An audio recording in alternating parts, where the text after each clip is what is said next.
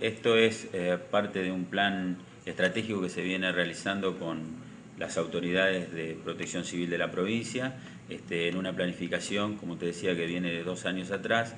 Bueno, hoy se ve materializada, en principio con la entrega del equipamiento, pero como te decía, venimos trabajando en todo lo que es la capacitación y el ordenamiento.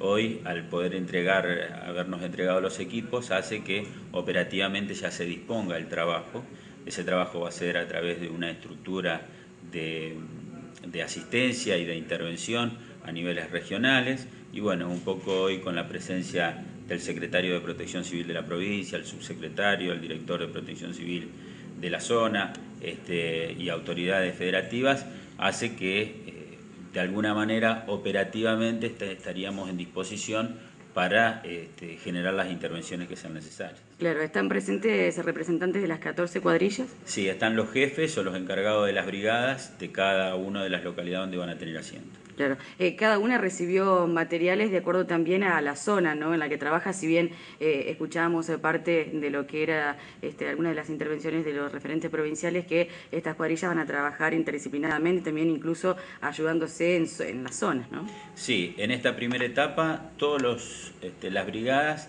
cuentan en principio con el mismo equipamiento básico. Independientemente de eso, hay algunas de las instituciones que ya venían trabajando con el área materiales peligrosos y ya tienen equipos de antes, ¿no? Este, o sea que los niveles de equipamiento por ahí pueden, eh, pueden variar en función de eso.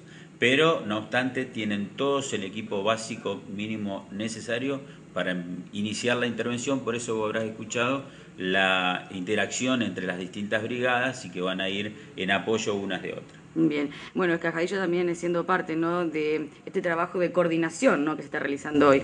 Sí, realmente, como decía Daniel, desde el gobierno de la provincia, a través de Protección Civil, venimos trabajando con la Federación Santafesina de Bomberos Voluntarios en un tema muy delicado, un tema especial como es la prevención y respuesta ante alguna emergencia con sustancias peligrosas.